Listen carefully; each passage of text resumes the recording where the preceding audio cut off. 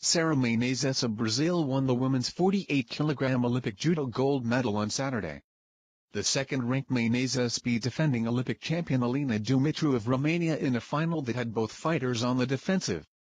Menezes frequently had her hands up like a boxer as both struggled to get a dominant grip, without much success until the last minute of the match. After failing to throw Dumitru off balance with foot sweeps, Menezes finally succeeded in throwing her for the victory.